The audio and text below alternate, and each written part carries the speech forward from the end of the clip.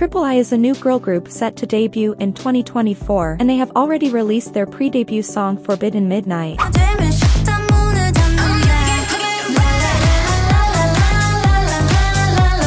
Although their song has been well received some have been questioning their faces since even though their bodies are real, their faces are allegedly fake produced by artificial intelligence. This speculation arose from videos where members accidentally revealed what seemed to be their real faces. These images, suggesting that the group is using deepfake technology, have gone viral, and while some are showing their support for the group, a significant majority is against the use of deepfake in girl groups, even considering it offensive.